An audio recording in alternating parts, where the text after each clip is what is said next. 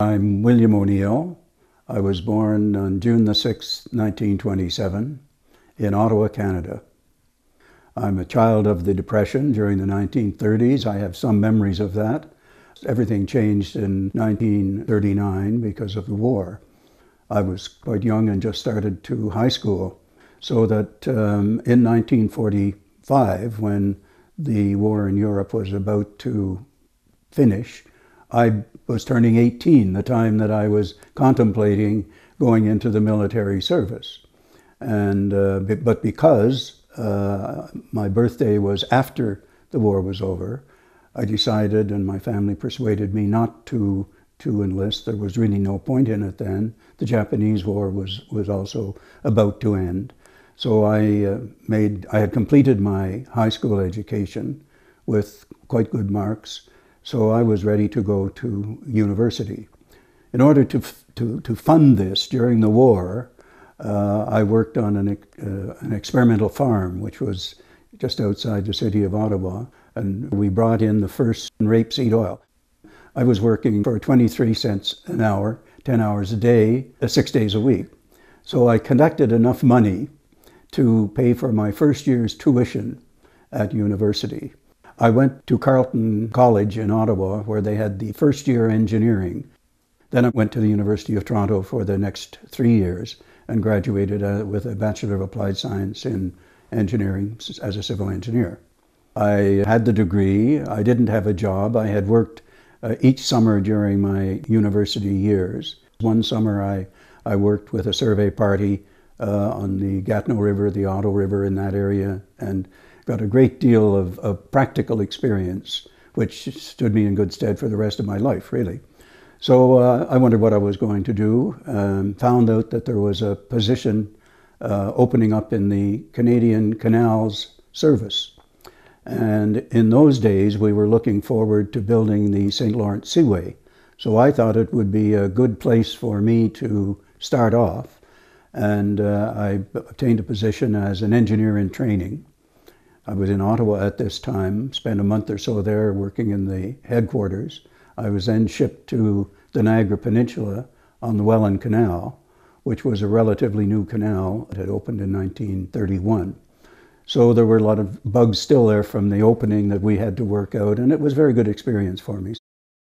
When I arrived in the Welland Canal, it had been staffed by people who had built the canal. I'm talking now about the electricians and the, the labor force and so on, and most of them had been in the First World War. So they were mature people. I was 22, quite young. The whole Welland Canal is there to overcome Niagara Falls. It takes ships from Lake Ontario to Lake Erie and bypasses Niagara Falls. The canal was uh, set up into two divisions for operations. The chap in charge of the southern division, which was the Lake Erie end, had had a heart attack, and they had to put someone to run this division. I was selected to make my way out of my little room in St. Catharines, Ontario, and go to a place called Port Colborne, which was close to Buffalo in the States and I took over this job. So in the evenings, I had nothing to do, so I would go down to the to the canal and go on the vertical lift ridges. and I take it up and take it down and seat it without smashing it into the ground.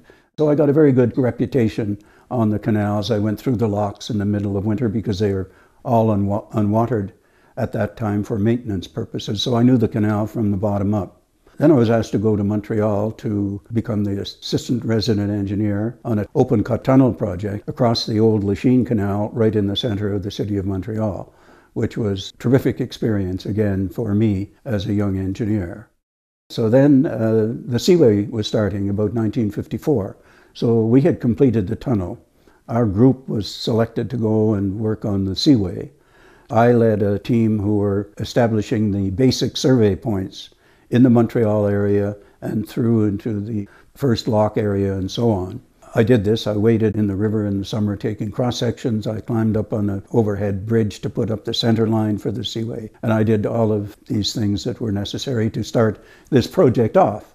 When the, uh, the seaway was started, it was really designed to overcome the old canal system from Montreal to Lake Ontario.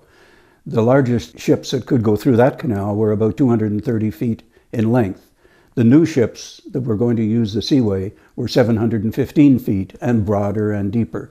So I was uh, invited by my superiors to go back to the Welland Canal and to take on the responsibilities as the division engineer, one of six division engineers in the seaway system.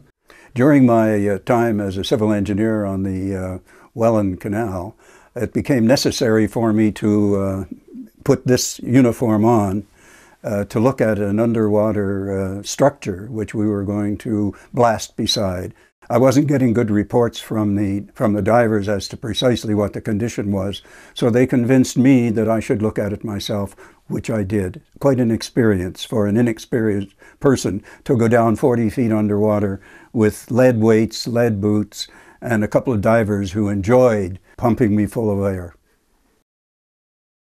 Now, when the seaway opened, there was a great inrush of ocean going ships and they, they were able to get through the new St. Lawrence Seaway section, but they got caught on the Welland Canal because it had limited capacity. And at one time, there were 50, 60 ships anchored in Lake Ontario waiting to get through the canal. Ocean ships had come from all over the world to experience the new seaway. It was the highway to the center of North America.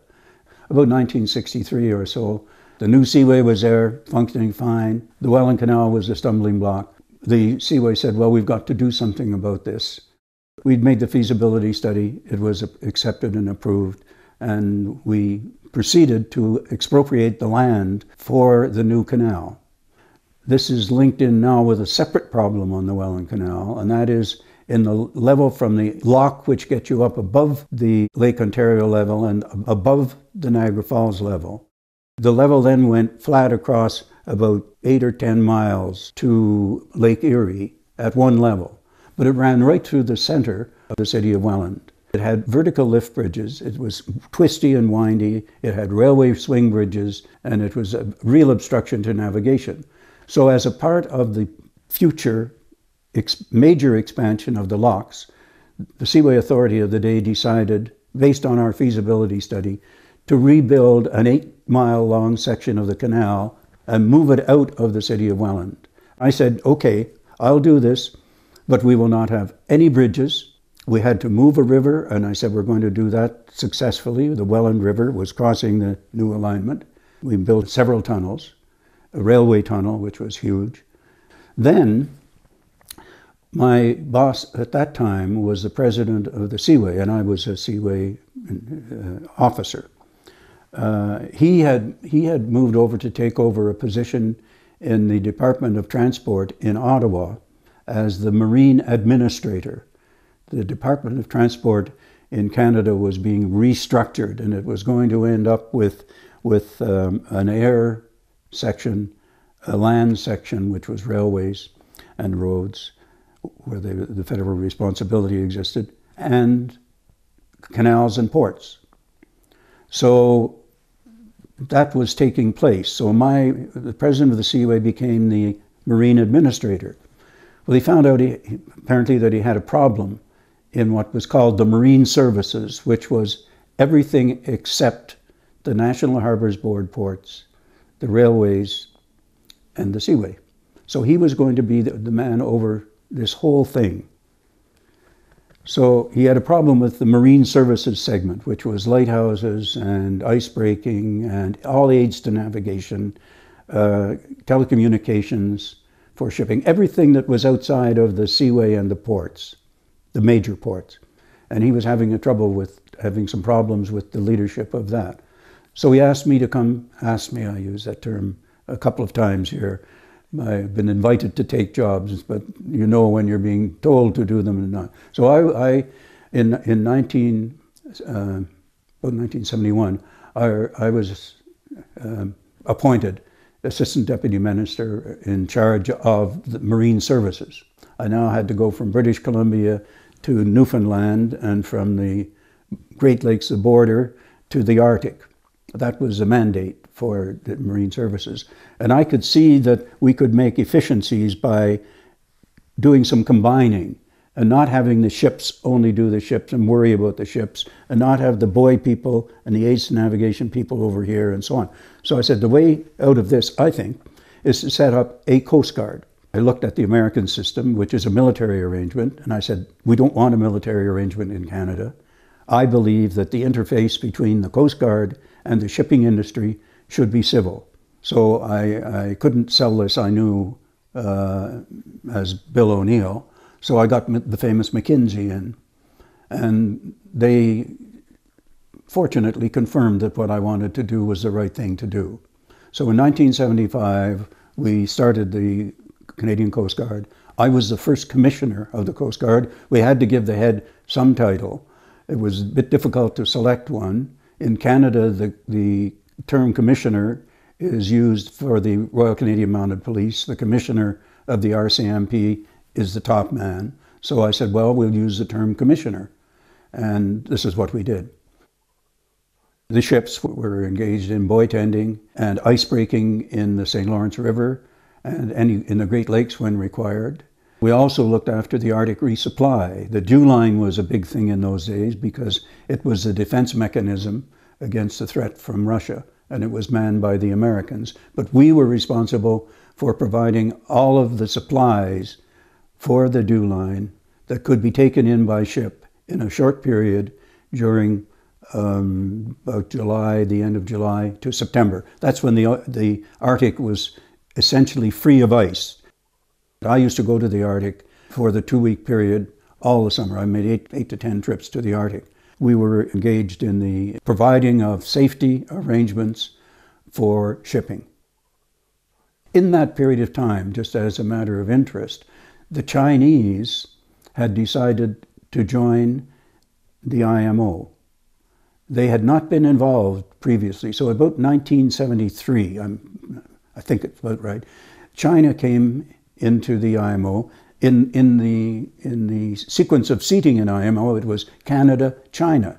So we got to know the Chinese delegations quite well.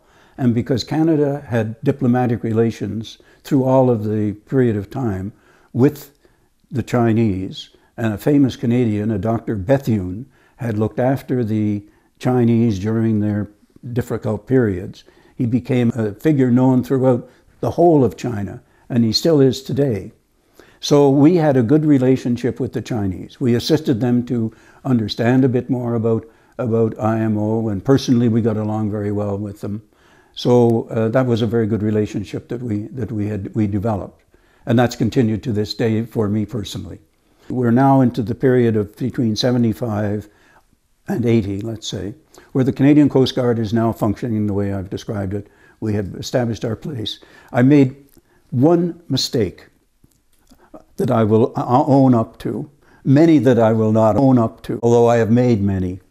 And that is that I did not insist on having the law changed to create the Canadian Coast Guard in its new structure with the legal parliamentary support.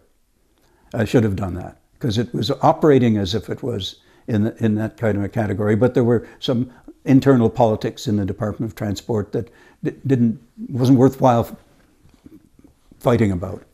In this period, of course, after the Second World War, Canada came from one of the first naval merchant navies in the world because of all of the ships that were built to carry goods to, the, to Europe. And they were selling all of those ships. And, and that was done by one of my predecessors in marine services. And, and you know, the Greeks then got into shipping by buying Canadian ships. So now we're to 75, we have the Coast Guard there, I'm the commissioner. The St. Lawrence Seaways president was retiring. And they were looking for a new president for the Seaway. So this is an appointment that is made by the government. It's not a civil service appointment. I was in a civil service position as the commissioner of the Canadian Coast Guard. So now they came to me and said, We'd like you to be the president of the Seaway. So again, I accepted the invitation. So during that period of time, I had become well known in IMO. I was elected the chairman of the council of IMO, And I said to, to the political people who had appointed me as the president of the Seaway, I would like to continue to be the chairman of the council if it's all right with you. I don't think it will interfere with my position as a, as the president of the Seaway. It's a, it's a rather independent organization. It's a, the Seaway. It's a crown corporation. At, and at that time, it had three appointed members. There was a president, a vice president, and a member. And uh, whoever the government wanted to put in that position, they put them in that position. A couple of them were always a political appointment. I was not, I was non political. 1989, the then Secretary General, C.P. Srivastava, decided he did not want to continue as a Secretary General. He had 16 years in that position, was extremely successful, and was well respected by everyone. But he said to me, You should succeed me. And I said, Well, CP, this is a, a choice of the membership. I'll have to be elected. And so on. He said, Don't worry about that. So I stood for election and I was elected in 1989 to take over in 1990, which meant that I had to move from Ottawa and relocate to London. I was elected as the Secretary General of the International Maritime Organization, which is a specialized agency of the United Nations system, a standalone organization uh, made up of members who elect to become members of the of IMO, and then uh, they collect enough money through uh, assessments on the membership to run it independently uh, from any other UN organization. So it's a standalone unit, but its main purpose, and it was it, it started really after the Titanic, because that's when people became aware that safety of, of life at sea was important. So ultimately, that led to the need for an international organization to take on the load of looking after the regulatory regime for the safety of ships. And that's how IMO started. So the fundamental thing at that time that was the fundamental objective of IMO was safety of life at sea. That was subsequently added to by environmental issues. The exposure to an environmental disaster was quite high. So IMO had to move into establishing a regulatory regime to avoid pollution from ships. So that was basically what IMO was doing. When I arrived, I felt that the organization had been running very well, but that there was a change needed. There was a change in atmosphere. IMO, in some circles, was considered to be a talking shop where they really didn't do anything. It took a long time to get things done, and there was no product at the end of the day that you would assign as being helpful that stemmed from IMO. So I had views of trying to change this, bring the shipping industry closer to IMO. Although the membership in IMO are member states, are governments, the industry had to become a part of this whole safety crusade we were on, if I can put it that way. So I tried to develop a rapport with the different shipping organizations, which I subsequently did. I simply was able to, I think, establish my position and the IMO's position as a, a place where shipmasters would want to come with their problems and not have them dealt with someplace else. The shipping industry is always facing some sort of challenge. Shipowners who have been successful have guessed properly and have got the right ships at the right time and in the right place. This forecasting is impossible to be 100% correct on. You're going to be wrong. You're just bound to be wrong. But we have to, to try and set that uh, aside and say we will do the best we can to determine what the future needs are going to be. We know that shipping is going to continue as the cheapest and best way for moving goods around the world. There's no question of that. We're trying to make the vessels, the vehicles, more efficient. We're trying to meet the, the demands of the environmentalists and the demands of the financial people to keep this industry solid and on top of, of, of all of the uh, things that can be thrown at it. And, and guessing what the right things are is, is, is difficult. I think that we will see ships come to a maximum size. We've seen that in the oil industry where they built 500,000 ton ships, which were a disaster. And I think we're approaching that when it comes to 400,000 ton bulk carriers. And things like that are going to happen. We're going to reach an optimum position. We're going to reach a position where the crews will be rightly balanced with the size of the ships and the size of the responsibilities that are placed on those crews. We're going to have to take on board all of the technical developments that are here. we have gone through the, the, for me, the introduction of television, the introduction of radio, when we used to sit around and look at, listen to the radio, the television, the advent of television, the advent of computers, the moves we're taking now where, where all of the uh, instruments we have to use, all of the handheld instruments that used to be Flash Gordon type things in the comic strips are here today. There's nothing to say that, say that that won't continue in the future. The thing is to make sure that we adapt our industry to those opportunities that are provided to us and we can handle the future. It's nothing to be afraid of. It's something to accept and to deal with. And, and, and that is where I think the shipping industry has to focus its attention and to be sure that it doesn't become a dinosaur.